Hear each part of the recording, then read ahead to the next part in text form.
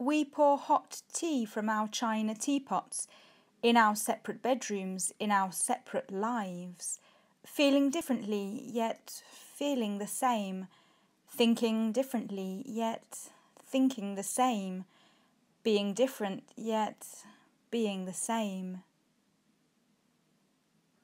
We in separate bedrooms in from our china lives. teapots.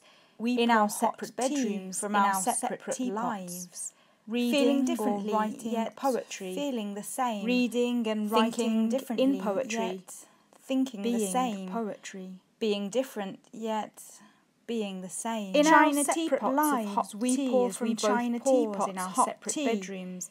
In our separate bedrooms, we share, drinking together, reflecting before settling thinking back and daydreaming, floating up lives. and away from the wet streets outside.